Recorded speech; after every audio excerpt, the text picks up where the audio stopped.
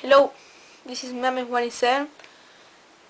I'm gonna show you a good trick, okay? So, we have one, two, three, four, five, six cards, okay? There you can see. And I want you to touch any card you like. So you touch the seven spades. So, I knew you're gonna pick the seven spades. Because all these cards are blue. And this is the only red card. So here's a very easy trick to do. So hope you enjoyed